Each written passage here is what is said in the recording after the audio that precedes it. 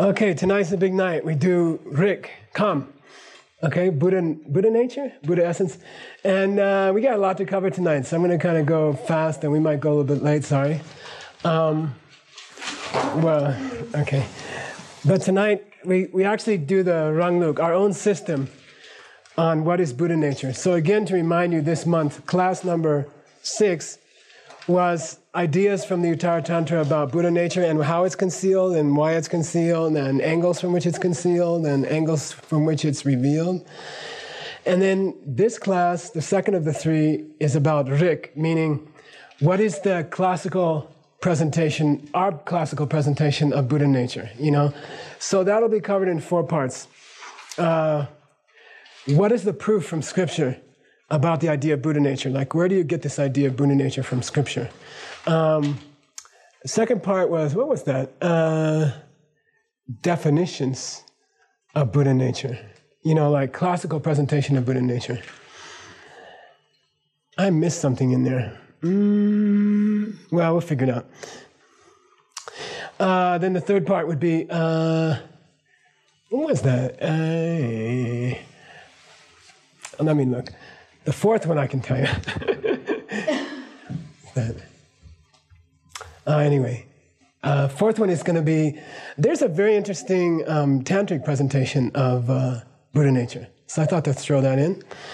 Uh, and then, uh, what was the third one? Let me see. Hang on. Yeah, I right.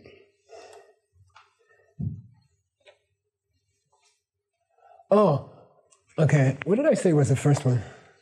Yeah, that's not the first one. First one is uh, different names for Buddha nature. Okay, like in the scriptures, you see a whole bunch of different names for Buddha nature. So I thought I'd go over them. So first we get different names for Buddha nature. Then we get classical scriptural references, both by the Buddha and by later people. And then thirdly, we get the classical presentation. What are the different types of Buddha nature, stuff like that. And then fourth one will be um, sort of a special tantric take on Buddha nature, okay? How Buddha nature is developed.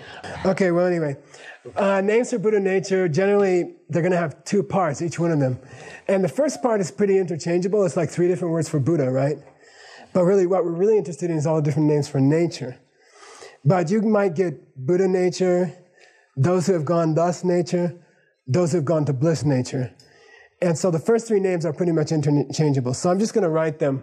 Um, well, we'll start with the first one. Mm. Yeah. Oh, yeah.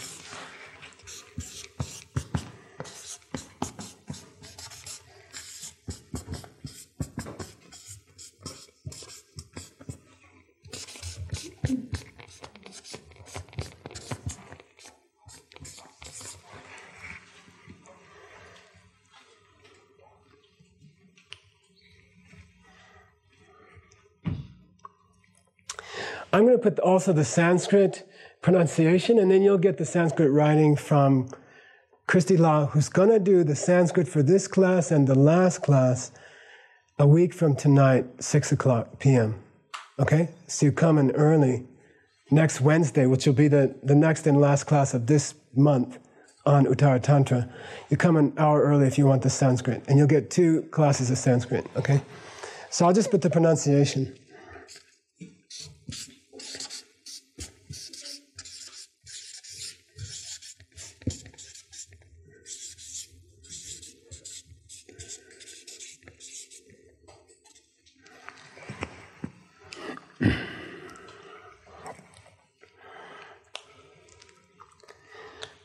And this is just if you're, you know, if you're teaching Rick in Tucson in October, come, right? You should know the different words and then you should know the Sanskrit. They come up a lot. You see them. A lot of people, because it's so hard to come up with an English word for Buddha nature, or Buddha essence, or Buddha seed, or whatever, people sometimes just say Tathagata Garbha. Um, the accent is actually long here, so it's Tathagata Garba. Say Tathagata Garba. Tathagata Garba. Uh, TH is an unfortunate transliteration of um, Sanskrit ta as opposed to ta. See, this is ta, this is ta. It's not tha. Okay, it's not Tathagata or Tathagata or, or Tharchin. Okay, uh, it's Tathagata Garbha. Say one more time. Tathagata. Garbha. Okay, good. Um, Deishin, which is tata, means like that, just that way, just that way. Uh, gata, which is shekbe, means gone, gone that way. Okay. Then uh, ningbo, which means I'm going to translate it tonight as essence means garba, is for garba, okay? Um, this is the Ningbo that you see in the Heart Sutra, Sherab Ningbo, for example, and it can be translated as heart or essence, okay? And um, we're going to talk more about that in a minute. But garba, I thought you'd like to know the, the literal sense of it, because then if you know the Sanskrit, you get a better sense of it. Garb, what, what would you guess the English cognate is? Garden? Um, keep the B sound. Garbage? Maybe, but I don't know. Uh, put the G in the R. Put the R after the G. Grab. Okay, grah, grab, grub in Sanskrit means to grab. And what it means, it came from an ancient word for womb. And the idea is that the seed is, what do you call it? Catches in the womb, and then the baby starts to grow.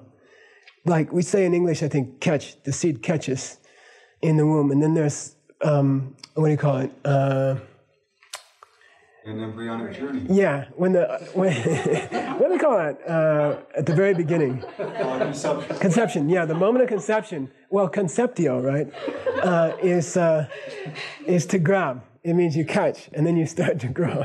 okay? So the idea is that garba means womb. You see, it means the hold. The hold.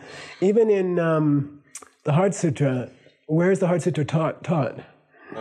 Yeah, Raja Gur. Gur has the same root, which means the keep of the king or the hold of the king. Raja Gurha means the king's, uh, the place where the king holds power.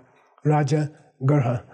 Um, and reg comes from Raja and r- regal and royal and all those words. So, anyway, Garba means the womb, uh, the, the Buddha womb. Okay, get the feeling of it? And then the Tibetans chose to translate that as Ningbo, meaning essence or heart. Okay? So you start to get a feeling of what all the meanings that are floating around here. It's nice to see the Sanskrit and the Tibetan. Okay, here's number two. You're going to be asked on the homework to give three of them out of five. So you can turn off after the third one. I thought there were two to the four different names for Buddha nature, so aren't there eight? Oh, it's going to be something like that. You can you can mix them, mix and match. Okay, yeah. Uh,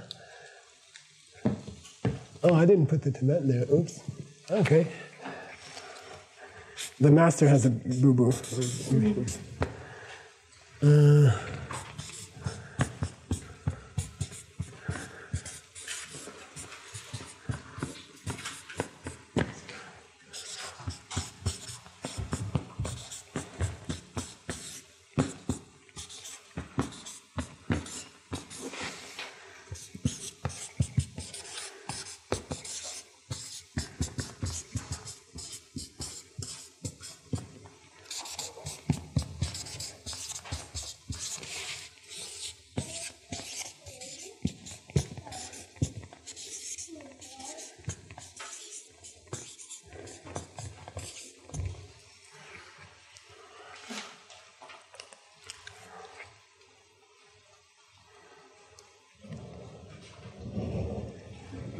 That's why it's hot.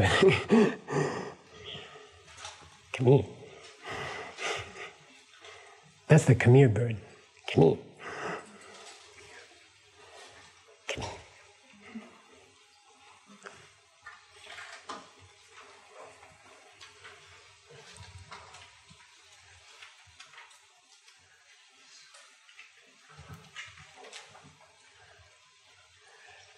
Say Dewar.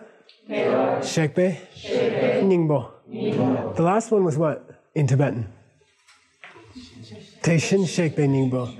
And now we got Dewar Shekpe Ningbo. Almost the same, right? A little bit different. In, in Sanskrit, Sugata Garba. Say Sugata? Sugata. Garbha. Okay. Mm, garbha again is the same sense of the womb. Uh, Sugata means gone well or gone to happiness, and it can mean either uh,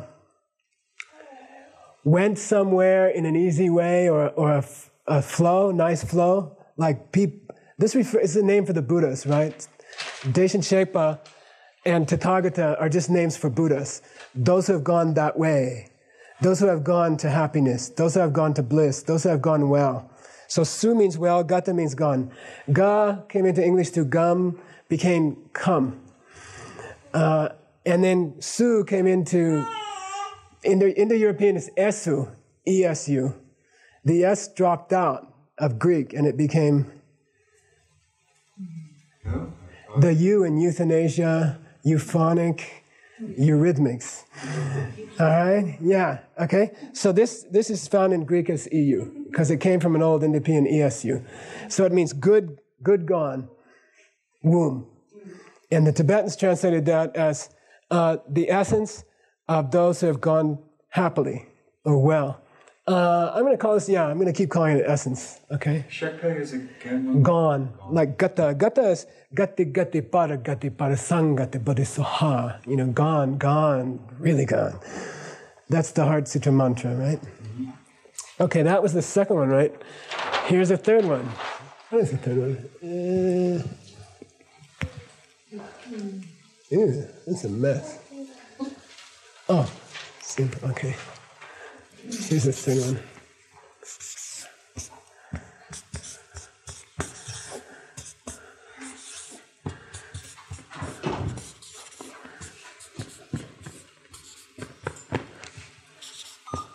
Ahem boop.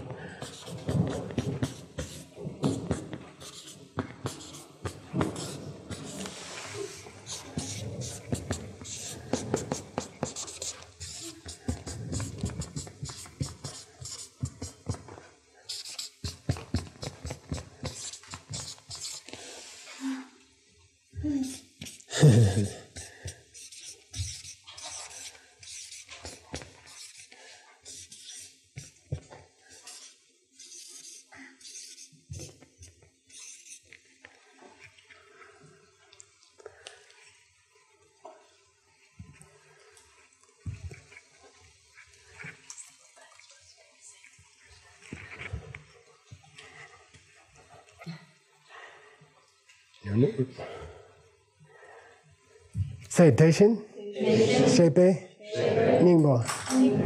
Sound familiar? Okay, now you get something really interesting. This is my advertisement. I spent uh, last week at Art house. Uh, we really had a good time, but um, in Howell. And uh, he's like adamant that people should get some Sanskrit under their belt. You know, as if it's not enough to spend 20 years on your Tibetan. But um, this is a case where the Tibetans used the same translation for a different Sanskrit word. You see, the Tibetans uh, only had one word for heart and essence, uh, whereas the Sanskrit was two different words. So here you get a nice feeling for how cool it will be, like in the Tantric course when we get to the. We're going to do a lot of the Tantric course in Sanskrit from Sanskrit originals. Um, and then you'll get more of a gut feeling for it because our language comes from Sanskrit, okay? So Tathagata is the same, gone that way, meaning Buddhas. And then Hridaya. Uh, guess what word comes from this part of it? Heart. Heart. Directly comes from Hridaya, okay? Heart. The heart of the Buddhas, okay? Uh, so now you got a new word for Buddha nature. Heart, Buddha heart. Buddha heart. Okay, literally. The, the, the Sherab Ningbo is called Prajnaparamita Hridaya, the heart of the essence of, the, the heart of the perfection of wisdom is the real name of the Heart Sutra, okay? And that's straight from Hridaya, okay? but the rest is all the same in Tibetan, right? So here you have a case where, uh, which is actually not that common, where if you know the Tibetan, the Sanskrit could have been two different things, and you might hear two different words, and then you really get a different feel, don't you? I mean, a womb and a heart is a different thing in a way. But, um, but in a way, they're the same, aren't they? So, kind of cool. Is that, is that bliss? Uh, no, this is the one that means they have gone that way. They tata. Tata means gone that way. The Tibetan? Oh, Taishin, sorry, yeah. It means like that. Like that. Okay. Let me see what's the next one. Who's that girl? Who's that lazy girl?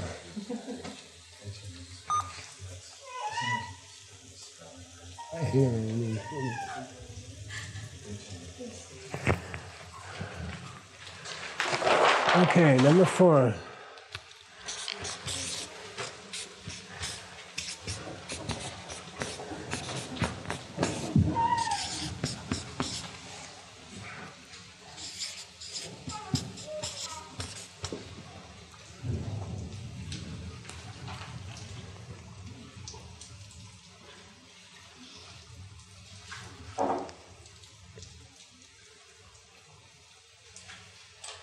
Say, Rick. Rick. You gotta roll the R. Ruffles have religions. I can't do it, man. Rick. Rick. Yeah, it's not done with your front teeth on your lower lip. It's done by flopping your tongue inside. Rick. Rick. Yeah, good. Uh, and then in Sanskrit, Gotra. Gotra. Yeah. Um, Rik means in Tibetan like family or type.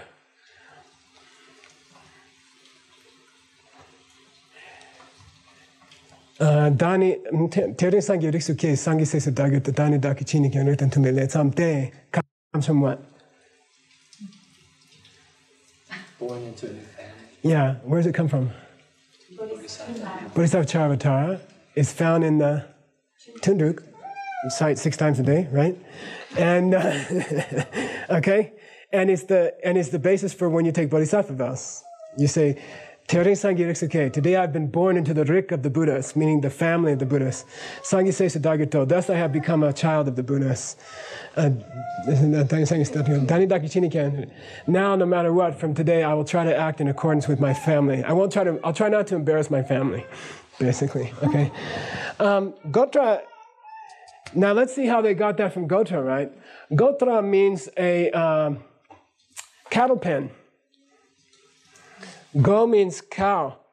Okay, gwa came into English as cow.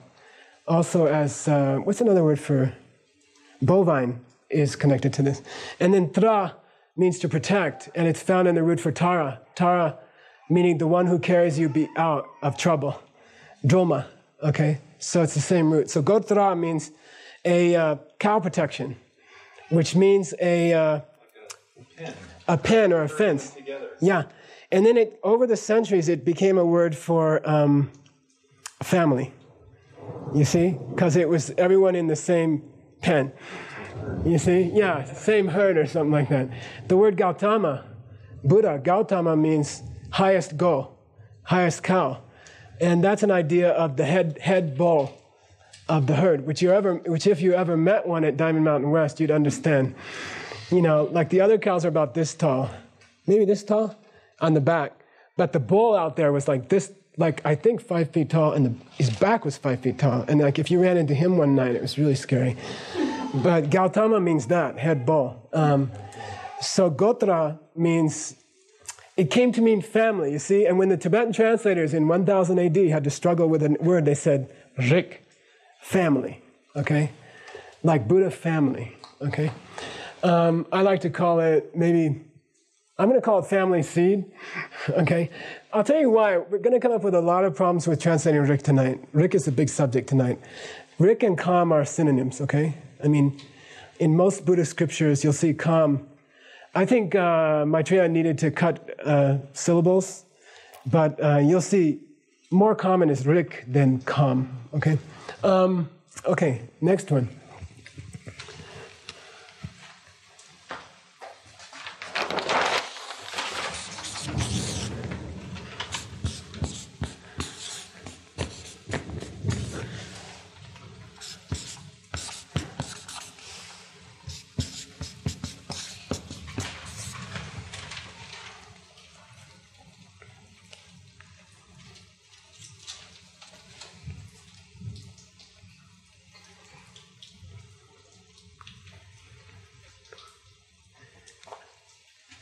Go back one page because I want to add something. Okay, ready? Remember Geshe Thubten Rinchen? Go back one page. Leave three blank pages. Six days from now, we'll get back to that. Uh, up here, I want to add Sangye.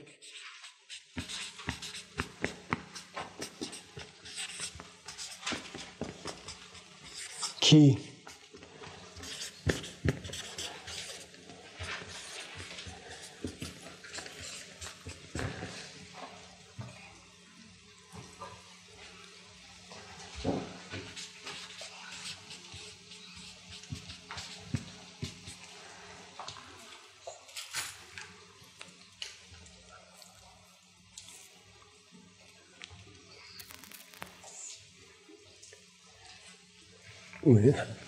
Say Sangeki.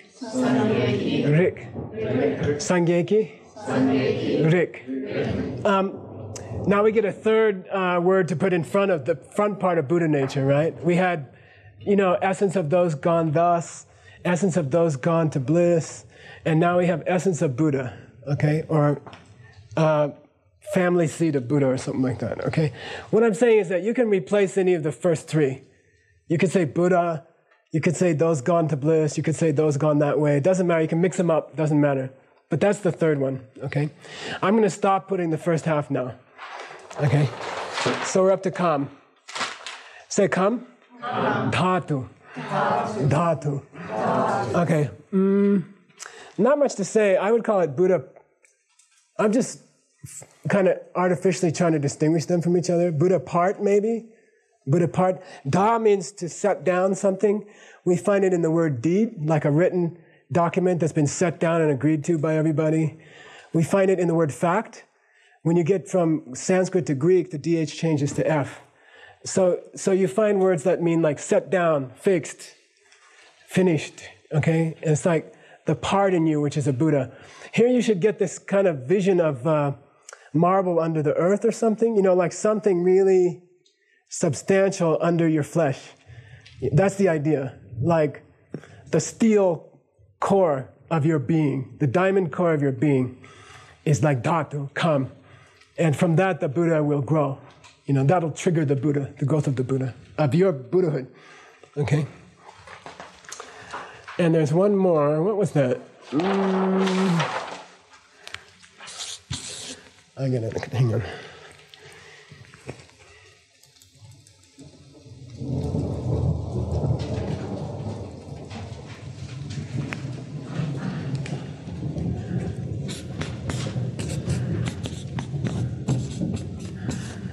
This is just another Sanskrit word for rig.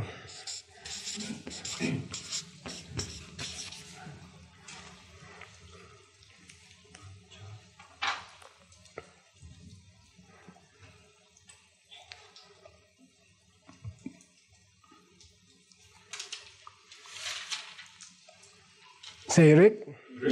Vansha. Vansha. Okay, Vansha means uh, it's an old word for bamboo and for a certain kind of plant. And so it means a, a, a, a, a plant family. Uh, Mercedes suggested me the word uh, genus, G E N U S, like, or what would be a word, David? I don't know. a, a group of, a botanical group. Families. Yeah, family or species. Order. Yeah, yeah, I mean, depending, how you Yeah. Species would be the last. Okay, it's almost like a species or no, no, it wouldn't be species, right? It'd be a family, like a plant family or an animal family or a type or a genus of. Okay, but there you get the feeling. Vansha came from a word for a group of plants that were grouped together into a family. So again, it's this idea of a, a genus or genealogy or a, a group. Okay, so a family, but also the seed from which this family springs and the womb and the essence and the heart. And those are all the words for Buddha nature, and you have to explore them. Like, go home and think about it, you know? All those feelings of a diamond core, a womb, a heart, essence, family seed, family. Uh, I like gene, actually, for Rick, you know, because it gives both feelings of a genus and a seed, you know? Uh, a family and the seed from which the family grows. You see, I mean, so all of those are Buddha nature. Okay, all of those, you start to get a feeling for what Buddha nature means in the native languages. Okay. You also get a you get an interesting insight into the limitations that the Tibetans were faced with sometimes. Like sometimes they clarified one Sanskrit word by splitting into three different Tibetan words. Sometimes they were faced with two different Sanskrit words and didn't have different words and used one word. And then we lost something when that happened, you see, when it came down to us in, in a foreign language, okay? So it's good to have both available, especially when you get into Tantra, especially when you get into the inner body. It's very useful to have this Sanskrit because there are so, it's like 17 kinds of words for snow in Eskimo. You know, like slush snow, uh, second level slushy snow, third level slush snow, snow mixed with water.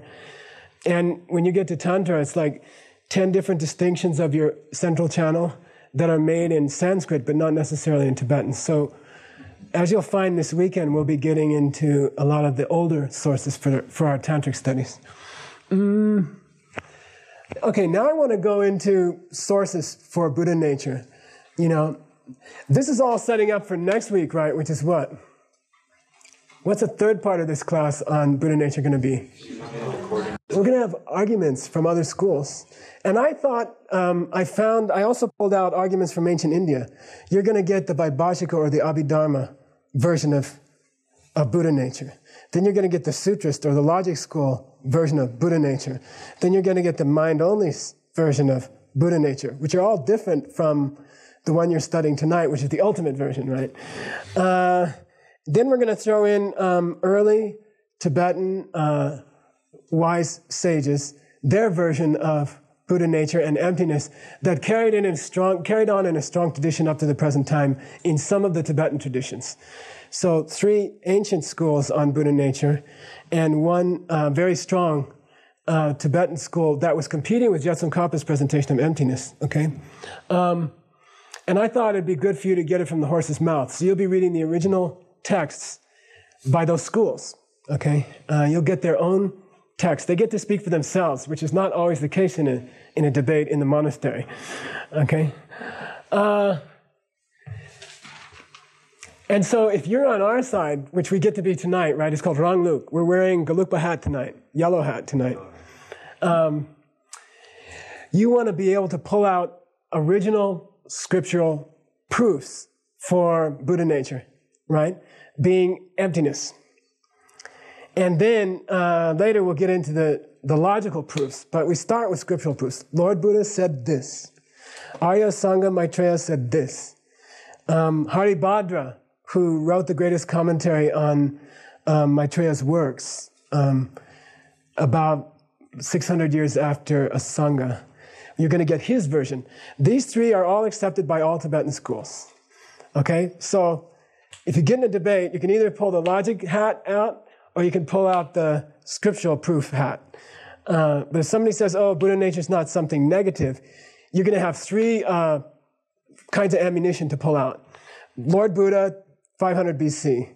Um, Maitreya, 350 AD. Uh, Master Haribhadra, uh, 800s, sometime in the 800s, okay? Before, and then after that, Buddhism comes to Tibet, and then we can't argue anymore because that's our own, you know, that would be like starting to get into Je Tsongkhapa's uh, version. So, like when we debate inter-monastery debate, like Drepung versus Sera, uh, we can't use Sera textbooks, you see? we can only use earlier texts by Je Tsongkhapa or earlier, you see. So it depends on what group you're in. You got to be able to go back to sources which are accepted by both parties. So that's what we're going through next. We're going to go through three sources accepted by all Tibetan parties. Okay? So if you ever get in a hot argument with somebody from another tradition about is Buddha nature emptiness? Or is Buddha nature an already existing Buddha inside of you? Or is Buddha nature um, something physical thing and like some kind of blue light inside of stuff like that you can get you can say no look look look we had that back in uh, Uttara Tantra course. Here's the reading. Here's three quotations from Lord Buddha Arya Asanga. Okay we're going to go through those. I want you to memorize them if you're doing Tibetan track. They're not very long. They're just like little tiny sentences. Uh, they're very short. So here's the first one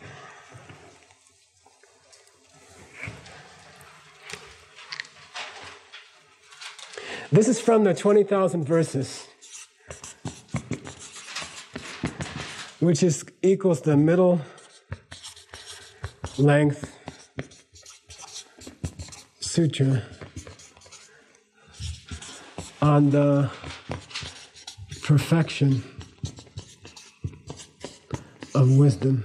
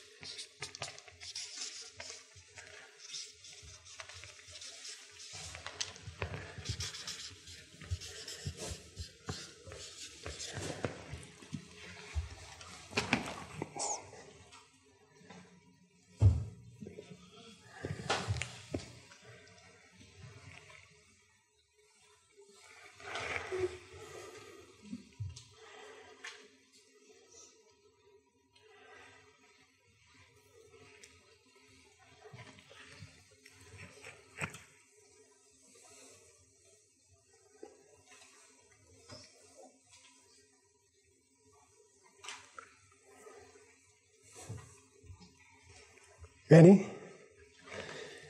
Say Rabjor. Rabjor. Namkala. Namkala. Chai che.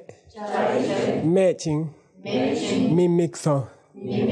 This is the famous place where Lord Buddha begins to talk about Buddha nature. Okay, in the perfection of wisdom. What's the shorter length sutra? How long is that? 8,000. 8,000 verses. What's the longer length version? 100,000. 100,000. They say that those were all the short one in the old days and they lost the others. 100,000 verse presentation of perfection of wisdom is the what used to be the short one.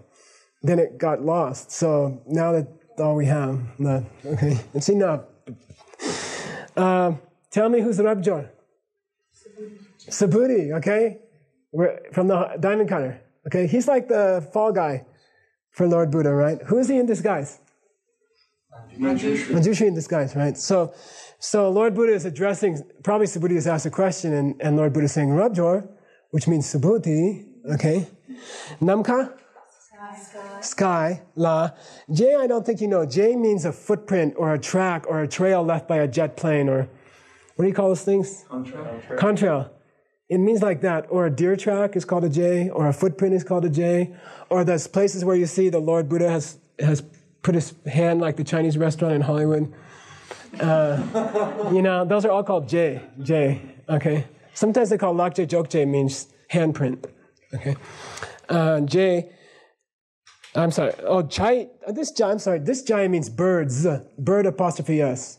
Bird's track, bird's trail, trail of a bird who's flying through the sky, right? The contrail left by a bird flying through the sky, okay? Me, doesn't exist. You can't see anything. It doesn't exist. Ching and mimikso, invisible. Can't see it. Can't see it. It doesn't exist and you can't see it. So the second J here doesn't mean Lord? The first Jai means of a bird, and the second J means uh, track. Okay? Those of you know Tibetan, it's the word after, right? Like Jetumba or something like that. Um, Jesu, Jesu Yurang for Anu. But anyway, um, now I got to tell you where what Lord Buddha is referring to. Lord Buddha is referring to the path of preparation. Okay? Lord Buddha is referring to the path of preparation. More specifically, uh, Lord Buddha is referring to the first of the four steps in the path of preparation, first of the four levels, which is called Chö say Chö Tsemo Supa. What's the last one? Chichok. Say again. Chö Tsemo Supa Chichok. I mean, Rinpoche taught it to us so many times, it's just like a mantra in my brain. You know, I don't even have to think about it. True means inner heat, heat. It means you're getting hot.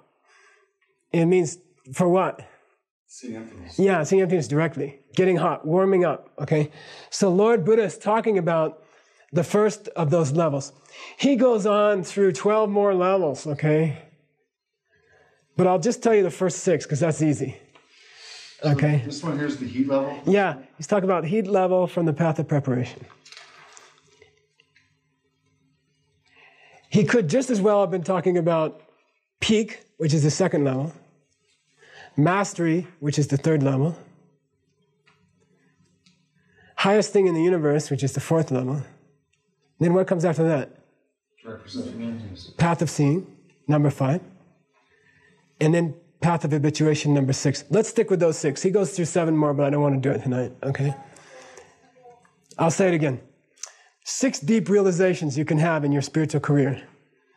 This thing about the bird not leaving any track, contrail in the sky when they pass by is talking about the first of those six, which is heat. What's happening at heat? Uh, What's happening at the path of preparation? We're studying emptiness. Intellectual Understand. understandings of emptiness. Not direct, but you're thinking about emptiness. You know, you're starting to get it, you know, like from these classes. You you get pretty good Jorlam preparation from these classes, you know. Okay, I got it. I understand what emptiness is not, and I understand what emptiness is, okay?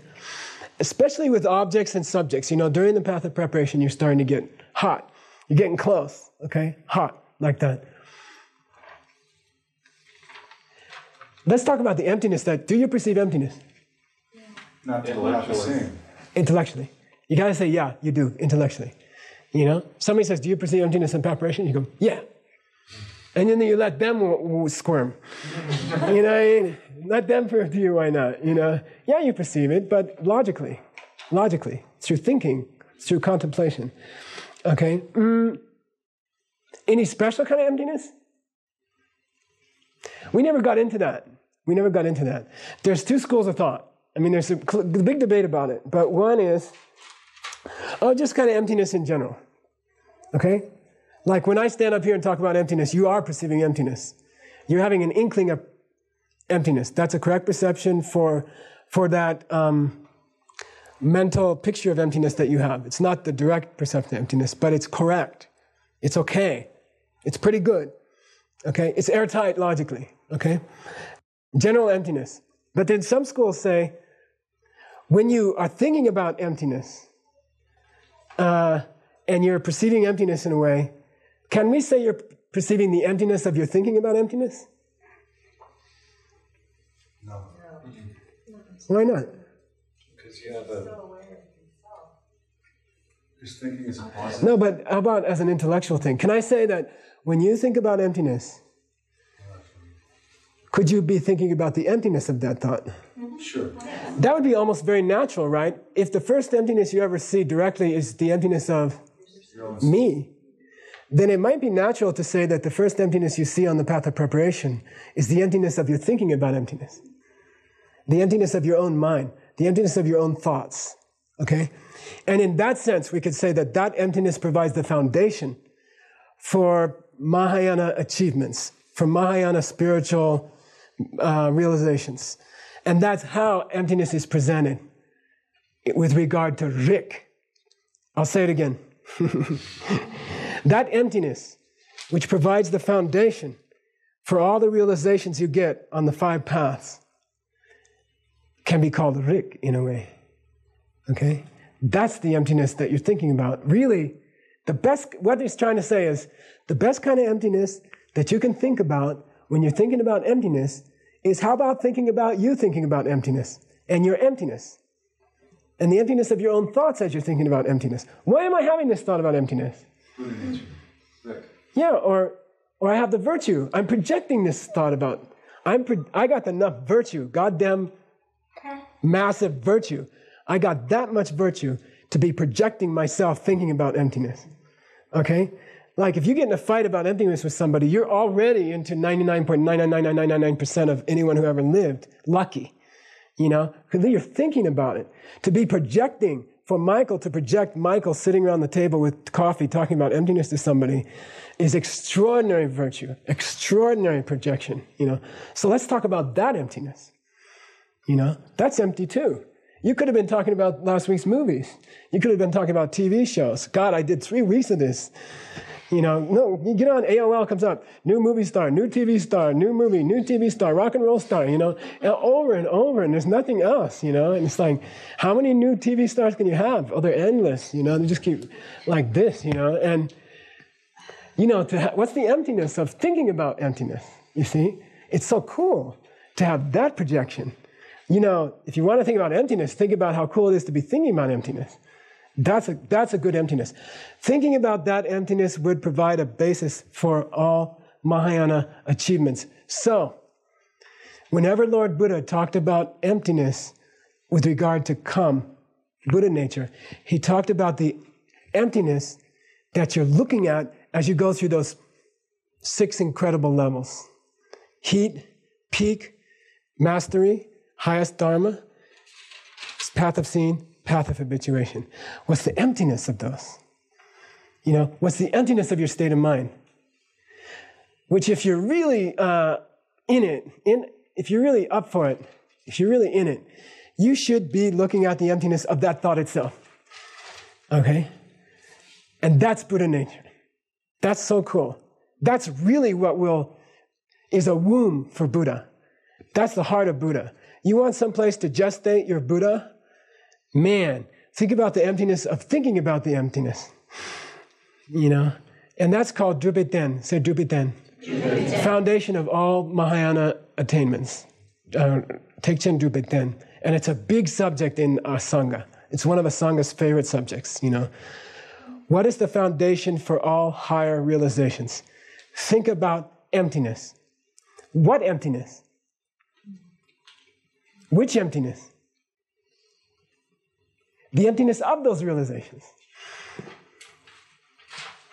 I'll say it again. You know, where's a good place to, where's a good womb in which to gestate, conceive and gestate your Buddha? Buddha you to come. Right? Think about the emptiness of your thoughts of emptiness.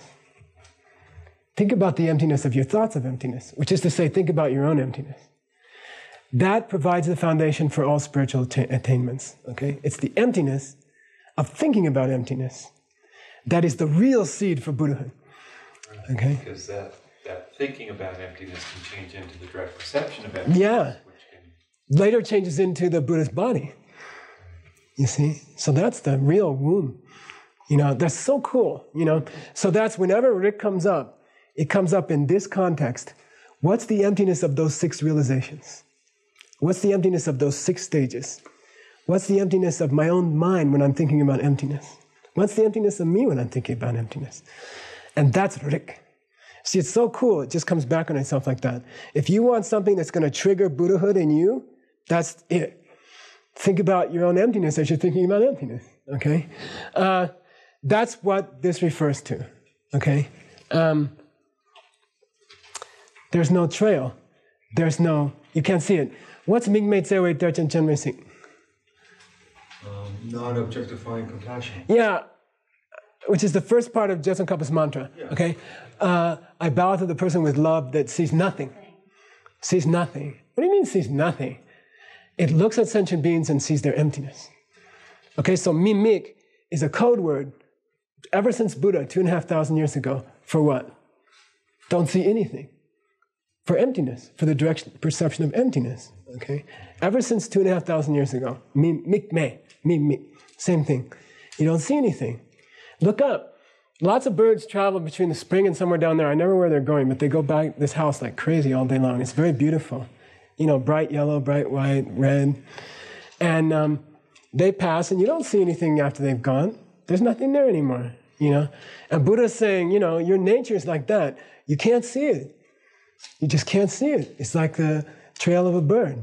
You know, it's emptiness. Okay? So from the very beginning, Lord Buddha spoke about Buddha nature in terms of can't see anything, and it's connected to each of the six paths. In the reading, you'll get the other 13, 12, okay, or five. I'm making it short tonight. The first six are the biggies. But then you'll get a beautiful um, comparison for the emptiness of your mind at second level of path of preparation, then the emptiness of your mind at third level of path of preparation, and then the emptiness of your mind at the fourth level of path of preparation.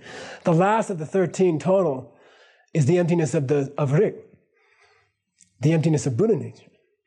Okay, so obviously we're on the right track. This is where the Buddha mentioned these things from the Prajnaparamita Sutra.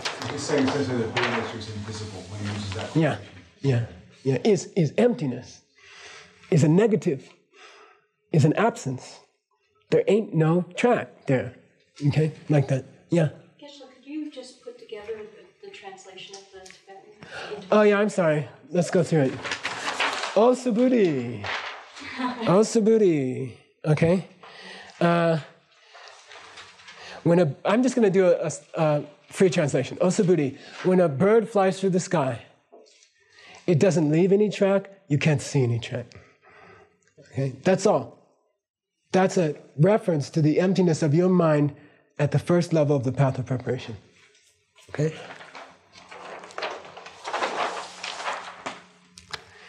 Uh, what did I promise you next? What authority would satisfy anybody?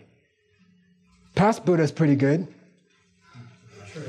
How about a future Buddha? Okay? This is from my portrayal. This is from the Ornament of Realizations.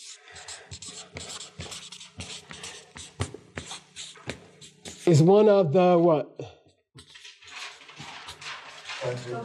Yeah, one of the five books that was given by whom to whom? Maitreya Asanga during his trip to uh, Shida, which took how long? You get the reading tonight, by the way.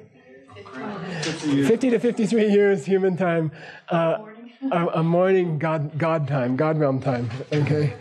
Uh, this is the for Abhisama Ankara, for those of you who care, Munto Gen. Okay. And he says, we had to memorize this when I was a kid.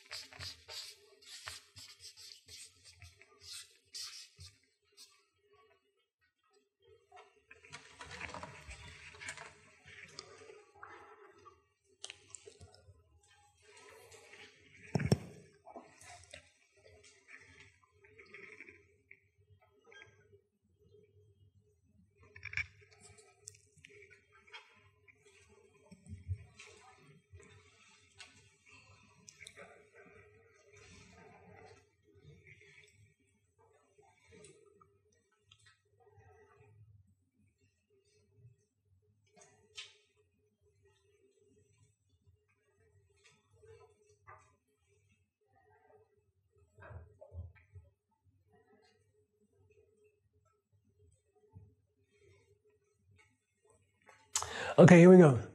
Tokpa yini. Chudu. Jugpe tenla. Rik. Sheja. Okay. Tokpa means what? Realization. It's a synonym for lam. Lam and Tokpa are synonyms. When we say five paths, we're really talking about five stages of realization, right? But he says chiduk. What's tunduk? Succession yoga. Chiduk means the six, the six dharmas. Okay. If you want to get into those things, those six realization, here just churches mean things. Juk means get into it. If you want to get into those six realizations, which six? Sound familiar? From above. Yeah. Yeah, Chötsemo Supa Chichok, Tonlam, Gomlam. Okay? Four stages of the path of preparation, path of seeing, path of habituation. To start, again, there's seven more, which is the dot, dot, dot there. I left it out because I didn't want you to be here till midnight. 10 o'clock is okay. Okay? There's seven more. The last one happens to be Rik itself. But anyway, Jukbe, if you want to get into those six realizations, you need a foundation. Then, you need to someplace that everything is based on. Those realizations are based on something. You have to realize that in Tibetan, in Buddhist uh, perceptual theory, foundation is a word for what? Objects. Objects. Because the perception rests on the object, you see? Like if there's a glass of lemonade with ice, and your visual perception rests on it, you see? It's there, and then you come along and you perceive it, right? So that you can't have the perception without the glass of lemonade. Okay? Once you got the lemonade, the perception is triggered. So, in a sense, the, the perception rests upon the lemonade, on the object. So, ten often means like foundation, but also the object. Okay? Of course, if you're in Tantric, if you're in, what did we talk about last class, Sammo Neumann? Which came first, the visual consciousness or the glass of lemonade? Is it like everybody thinks that the lemonade's there and then it triggers your perception of it? Or is it that you're projecting the lemonade after the consciousness? And in a sense, the, the awareness of the lemonade creates the lemonade. You see? That makes Tantra possible. You see? That you're not perceiving Vajrayogini, you're projecting her. That, that makes Vajrayogini, that makes it possible for us to become Vajrayogini. But anyway, we're in Sutra right now, so I can't talk about that. uh, okay. By the way, my idea, I was thinking about it, that the in-depth courses should be like halfway to Tantra, and then, you know, you just naturally bridge to the Tantric series from that, you know, but we'll talk about that. So like, I'm thinking that in the in-depth courses, which will be like, I don't know how many, but there's the 18 basic courses, sutra, open courses. But then by the time you get to the in-depth courses, I think you should be mixing in a little bit of tantra, and then you go all the way with the 18 tantra courses. You see. So I've been doing that. You might have noticed. Okay, foundation la rik. To that we she. We what? She. Call. That's what we call rik. Okay. You want to know what rik is? It's that object which is based on you can get into those six perceptions, those six realizations. You want to know what Buddha nature is? You want to know what we call Buddha nature? We give that name to La, okay? That object or foundation which provides the basis for those six realizations, which is what? The emptiness of those six realizations.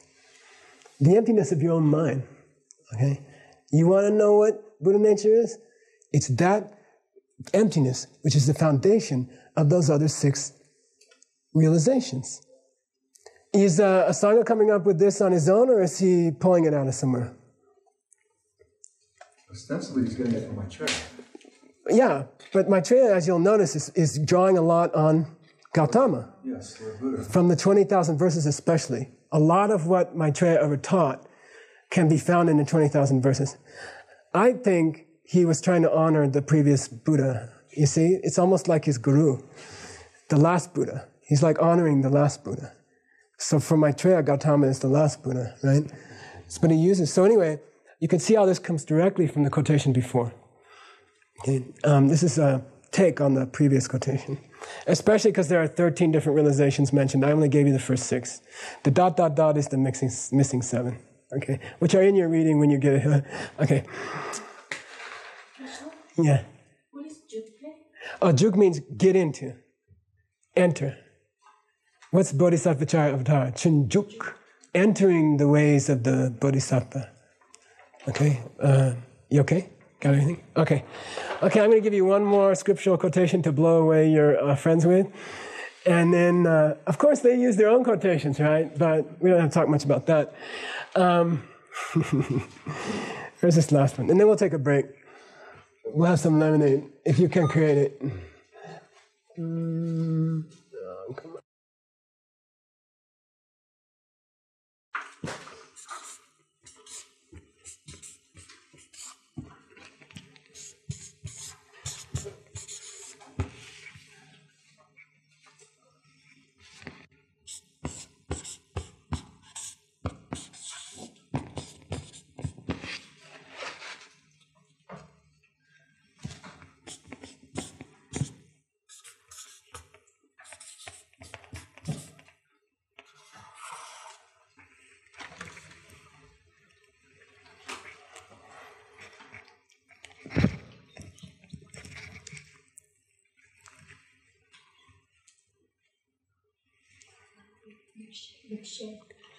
Oh, I'm sorry.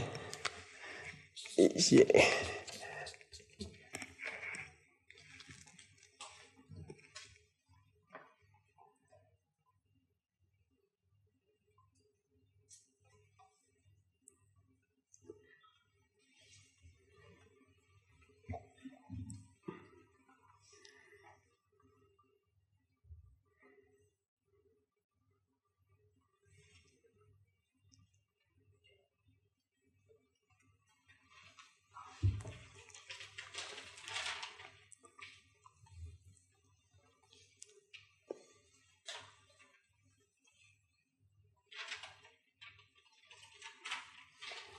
Say Chöki Ying.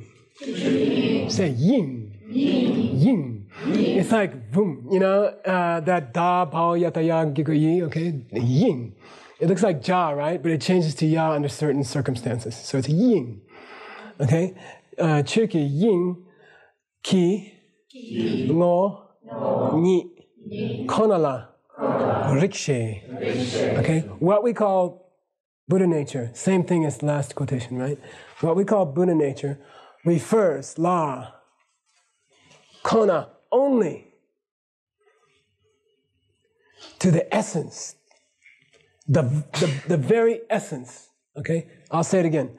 What we call Buddha nature refers only, kona, to the very essence, ngo ni, okay? The very essence of the Chukyi Ying. Chukyi Ying is Dharma Dhatu. That's Dharma Dhatu. It means the ether of all things, you know, the realm of all things. It's a word for emptiness. Okay? It's a word for emptiness. You know, the, the yin of all things. Okay? And it was meant to be onomatopoeic, you know, yin. Okay? Dhatu. Uh, so that's pretty blunt, okay? You want to know what Rik is? It's emptiness. Only. Nothing else. Okay? Who said that? Haribhadra. Uh, I'll write it for you.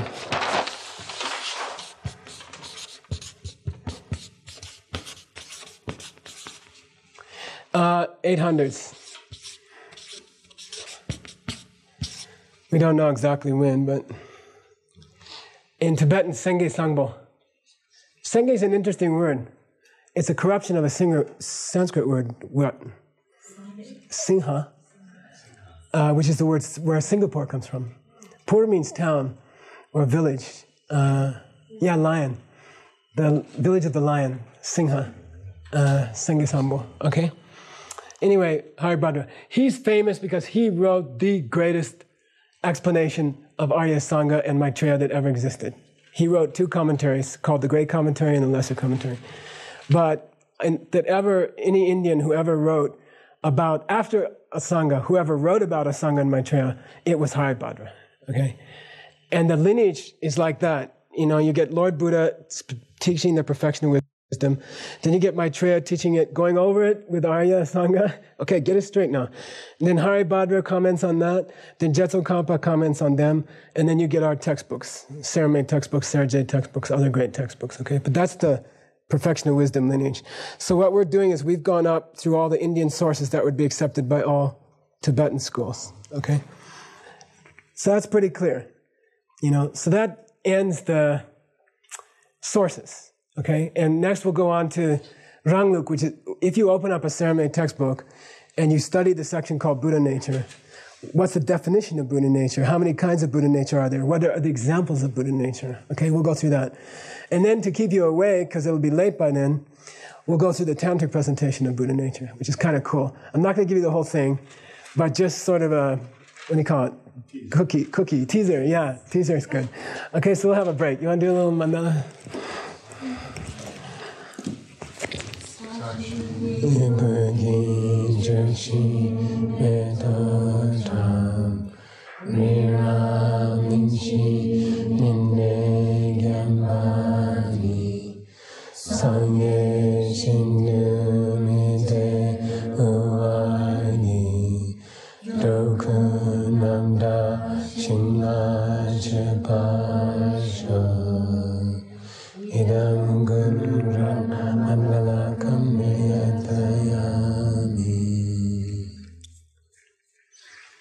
Have a nice break.